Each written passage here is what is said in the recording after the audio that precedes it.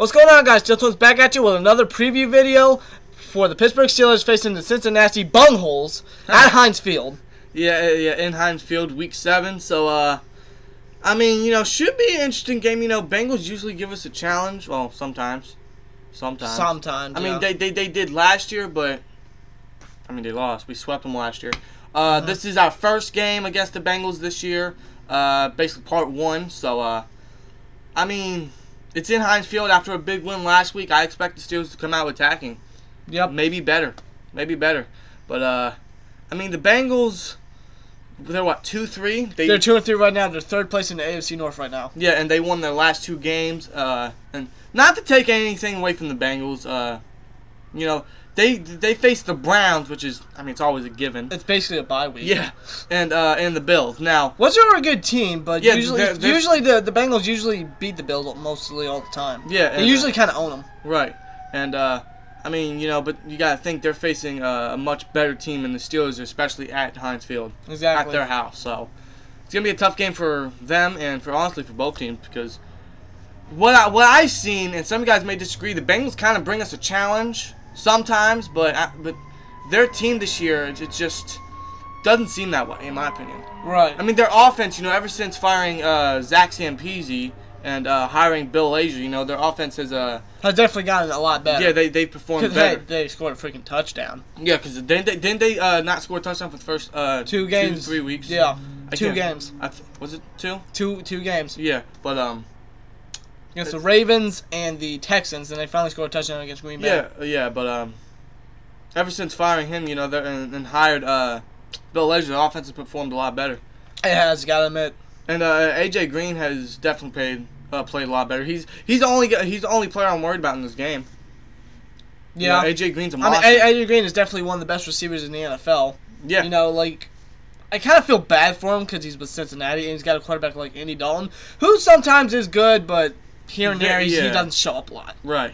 And uh, I mean, you know, like I said, he's the only guy I'm worried about because they they have Brandon LaFell, who is just. I mean, he couldn't do good with Brady. What's what, how's he gonna do good with uh, Andy Dalton? He's awful. They got Tyler Boyd, but uh, is He- didn't he Yeah, he- didn't he uh, get arrested for some sort of uh? Didn't didn't he have like uh Like- drugs in the car? Yeah, or something like that. I don't know if he was framed or if he actually had drugs. I'm not 100% sure. I don't know if he's playing, but they have Tyler Boyd. They have John Ross, who isn't healthy yet. They don't have Tyler Eifert for the rest of the season. He's on IR, so they Yeah, gotta uh, they gotta trust Tyler Kroft. In other news, uh, water is wet, so right. it's kind, it's kind of, kind of, you know, So for the. Bengals offense, you know they got some, you know, good targets, but besides their best, tar- well, one of their best targets in Tyler Eifert. Like Yeah. they're not gonna have him for the rest of the season. Right. And that's gonna suck for him. and also, I think he's going to hit free agency next year. It would- it would not surprise me. I could see him going to the Lions because Eric Ebron, you know, he's been a bust. They're not going to keep Darren or Darren Fells, so uh, I think he's going to go to uh, Detroit next year I think that'd be a good it- target for Matthew Stafford. if he stays healthy, of course. True. But uh, plus, that would reunite him with uh, Marvin Jones, Right. who played for the Bengals, was a real good number two for him. Exactly. And ever since you know, ever since they got because after that 2015 season when they went 12-4, and went to the playoffs. Obviously, They- lost they- to the Steelers. yeah, and uh, They, they lost very, a lot of players like uh, Marvin Jones, uh, uh, uh, Mohamed Sanu, uh, Reggie Nelson, Yeah, the best, of, perhaps their best defensive player yeah, at and the time. you know that, that's just to name few. Plus, they lost a lot of players on their offensive line. like Andrew Whitworth, he went to the Rams. uh, what's his name? Uh, that guard. I can't remember his name. Yeah, I know who you're talking about. I can't remember his name either. Is it? Uh, no, they still have him. I, I I can't remember his name. Uh. I, I, I'll- I'll put his name in uh, in in, in, uh, in the description box, but I, I cannot forget remember his name. But uh, But this Bengals offense, like, I think Andy Dalton's gonna have some trouble with our Yeah. pass rush, considering Yeah. he does ha- he has no protection whatsoever. Yeah, you know he Like- has no tackles. The only, the only good player I think is their right guard, but he hasn't performed well this season. Exactly. So Like, like, like, like I said, they have some good targets, but not their second best target, in Tyler Eifert. Like they have, or they they It's have just- some running backs. it seems like that they're they're well. First of all, uh, the only player that showed up for him is uh, AJ Green. That's basically it. Brandon LaFell hasn't done anything. Tyler Boyd hasn't done anything. John Ross, their first round pick, hasn't done anything. He's been injured most of the season. Yeah, which uh, His first carry was a fumble. yeah, that's his first touch of a football. So not really. I mean, if he plays, I'm not really worried about him. And He- run- Yeah, he has great speed, but uh, what's that done for him? Yeah, Exactly. it's done none but cause him injuries exactly. because a human a human is not meant to run that fast. exactly. Exactly. Yeah, But And- their running game, you know, like they have some running backs and uh yeah, they have uh, Jeremy Hill, Giovani Bernard, and honestly, who I think is a major sleeper on this Bengals team. yeah, uh, Joe Joe Max Maxon. What the hell? Joe Mixon. Yeah, Joe Mixon. But uh, I say Maxon, it's Mixon. yeah, um, But yeah. Joe Mixon, like he he's a he's a phenomenal player. He's really good. yeah, and with, but the thing is, with all those running backs, I if, uh, correct me if I'm wrong, I think they're 28th in rushing offense. I believe so. Like, like they're, doing a running back rotation, but I don't think one of them has yet to get 100 rushing yards this season. Yeah, I believe you're correct. And I correct me if I'm wrong. I, th- I think Jeremy Hill was actually the starting running back at the beginning of the season. He hasn't really done anything all season. Right. Giov- So, uh, so- Bernard is more of a receiving back, and Joe Mixon has actually progressed well. Yeah. So, the running game is decent, but it's not great. So honestly, I, I'm not really worried about the running game at all. No. I think our run defense, you know, after a big performance last week, uh, limiting uh, Kareem Hunt to only 21 yards, I'm sure they're going to continue. Uh, I think that you know they're uh, upgrading for their run defense is going to continue. Yeah. You know, And with this Bengals offense going up against the Steelers defense that has done very well so far uh, this whole season, like I think the Bengals offense could have some trouble, yeah, especially at Heinz Field. Like the pass def- pass defense is freaking tremendous. Rush defense is actually upgrading a bit. Pass rush is doing Pass rush is doing do. real good, I yeah. think they should pass rush a lot more, but they're doing what they got to do. but they're they're applying pressure, which is still pretty good, so I think the Bengals offense could have some trouble against this fierce uh, Steelers defense. and, and especially the pass rush because they have no offensive line. And, and I said it when they when they lost some of their uh, key players on their offensive line. I think that their offensive line is going to kill them, and it kind of has. Yeah. And I expect our pass rush to. You know, of course, I want us to have a good game, but at least apply a lot of pressure, force mistakes. Yeah, like Cam Hayward, Stephon Tuitt, Javon Hargrave, Bud Dupree, Right. uh, Anthony James Harrison, Right. T.J. Watt, like all those uh, pass rushers, even Ryan, uh, Ryan Shazier and Vince Williams, if he does play, because he did suffer an injury against the Chiefs. But if he is not playing, it at leaves Tyler Matakevich some playing time. Yeah, and I think this is a perfect uh, opportunity for Tyler Matakevich to prove himself because I'm still very confident, and I still say that he he was a seventh round steal.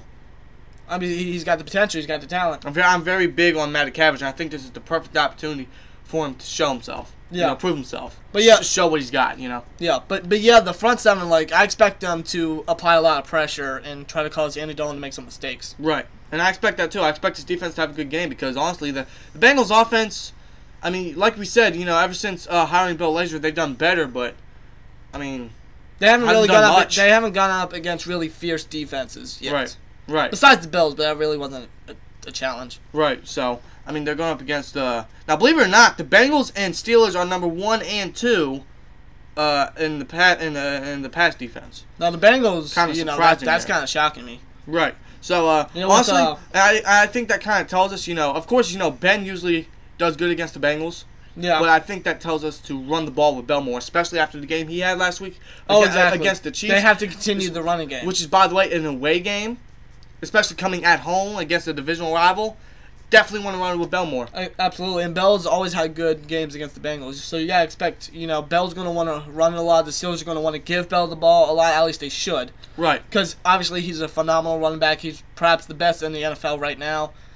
Like I think he's third in rushing yards, I believe so. Like he's even after a slow start. like we sh- we need to continue with this running game because it, it will help us win games. It will, it will help us get down the field. he really helped us last week. Exactly. So just continue it in this game. So uh, I expect this offense to have a good game. You know, I, I, I'm still confident that this offense is upgrading. It's bouncing back. It's start. You know, last week I think that last week was the start of our offense getting hot. Our offense just started getting hot. So I think it's going to continue against the Bengals. Even their defense, you know, it's not too bad. You know, they their defense backs, uh, Shawn Williams, uh, their other safety, George Iloka, Adam Jones, Pac-Man Jones, that freaking douchebag, that jag off. Yeah, and uh, Uh, Dre one- Kirkpatrick. One, one interesting thing. Uh, one interesting. One interesting thing about this game is uh, Vontaze Burfict. We all know the history he has with the Steelers. He injured the three Bs all in one season. Yep. So um, it's gonna be interesting, and I hope Bell uh, runs his ass down, Fucking and I think so. he will. freaking hope so. Now, I'm not denying Vontaze Burfict. Burfict's a good player. He's, he's I'm a not very good player, but he's a dirty ass player. Yeah, very dirty player. Now, I'll I'll give him credit. He has slimmed down, yes, but he hasn't stopped. No, no, not all whatsoever. Yeah, Talented player, but dirty as shit. yeah. So it's gonna be interesting to see how that you know how that turns out. That's gonna be that's gonna be a fun showdown. Bell Right. and uh, Burfict. Also Brown, Burfict, of course. Yeah. So And our, offen- our offensive and speaking of our receivers, you know, continue to spread the ball around. You know, Exactly. We kind of did that last week. It kind of worked out for us. You know, uh, AB had a hell of a game, especially that touchdown catch. Yeah. Which is still unbelievable. I don't know how he caught that, but uh, I know, right? and it's just a great play by Brown. You know, just never giving up on the play. just seeing great- what just seeing great- what the ball's going to be and Yeah. just grabs it with one yeah, hand. great concentration, dude. Just, just just tremendous. That's why he's the best receiver in the NFL. Right. Most receiver most receivers would just quit on the play or just, you know, not catch it. Brown never gave up and concentrated the ball, you know, perfectly. Exactly. It made a great play, a much needed play. exactly. So, you know, I mean I can see Ben, you know, throwing the ball a good a good amount of times, you know, spreading the ball around to obviously AB. I'm hoping Martavis Bryant does have a big game. honestly, you know, he he has history with the Bengals, you know, a 94 yard touchdown catch. That touchdown catch against the uh the uh, the uh, the Bengals in the in the wild card game. Yeah, in the playoffs, which was a hell of a grab he- right there. He usually does good against the Bengals. So I kind of expect uh, Martavis Bryant to actually have a good game here. or at least I hope. Even with all the trade rumors that were going on, you, you got to bet Martavis Bryant is still going to, you know, because he said in his tweet he's happy to be a Steeler and he wants to try to help his team win, win number seven. Right. And you got to bet he's going to want he's going to want to upgrade. He's going to want to uh, uh, show up. You know, Exactly. especially against the division rival. Exactly, especially at home too. Exactly. So, uh, and uh, you know, I just hope this offense has a great game. Honestly, just continue to run the ball and spread the ball around. Tell you what, the offensive line's got to protect protect. Yeah, though, because- I gotta admit the Bengals pass rush is pretty good. Because they have uh, Carl Lawson, who's uh, you know, he's really shocked me. yeah, uh, he had G- he had three sacks against Green Bay on Yeah. Aaron Rodgers. yeah, so he's gonna be going up against Villanueva most likely. Uh, Geno Atkins, uh, Geno Atkins, a freaking monster. Carlos Dunlap. Who else they got? Uh, Jordan Willis. You know, You know, another rookie. they got they got a real good uh, defensive line. They got a real good pass rush. You gotta admit. yeah. So this offensive line has to do a real good job here. And I did hear that Marcus Gilbert did get injured against the Chiefs. I don't know. he- I don't know if it's serious or not. Hopefully it's not. I did hear it's a hamstring. But if he is not playing, I guess Chris Hubbard's going to get more playing Which time. I'm okay with, but you know he hasn't really done so well this this year. No, no, really. no. You know, he's, he's I kinda- mean, he's, made some handy blocks here and there, but nothing major, nothing big. yeah. That's mainly been in the run game though. Right. I mean, he's done good in the pass block. You know, But he keeps pass he keeps but- allowing the the person that he's blocking, you know, co- to cause pressure. right. So I think Sometimes gotta stop. yeah. So I mean, I hope this offensive line, you know, just you know protects Ben because we're gonna need it. Yeah, I wonder if uh, Foster's going to come back too because he was out uh, against the Chiefs. But, Yeah. uh, B.J. Finney did really good in his absence. B- BJ Finney has always done good in uh in absence for a Foster. So if, if he starts again, I'm very confident. oh yeah, I'm really liking BJ Finney. So possible I- I- replacement for Foster in the future. potentially, yeah. I like Finney, dude. Seriously, he's really progressing well, especially uh, under Mike Munchak. Oh yeah, So it's great, man. So uh, you know, this offense just you know just keep running the ball, spread the ball around, and protect Ben. yep, absolutely. Uh, because if you protect Ben, you know Ben's gonna make some smart decisions. Sure, he hasn't this season, but you know he's he's only gonna get better this season. Yep. You know, this offense starting to get hot. We're starting to spread the ball around. This Bell's starting to play better, so Hopefully we can continue to That- do that, that- against a divisional that- a divisional rival. that's gonna affect every player on the offense. It's gonna, you know, really energize them and you know, you know, cause them to make bigger plays. You know, right. so And this defense, you know, they gotta apply pressure. They gotta cover their guys, especially AJ Green. You know, this defense gotta do what they've been doing throughout all season. They gotta do what they gotta so do. so uh, and speaking of AJ Green, uh, I I don't know who's gonna be covering him. It's either Joe Haden or Burns. I I'd put Burns on him, but either way, we gotta contain him. Yeah. And, I'm fine with either one, really. and I think he's gonna be on the left side, which means Mitchell's gonna be on that side, and uh, I don't trust Mitchell whatsoever.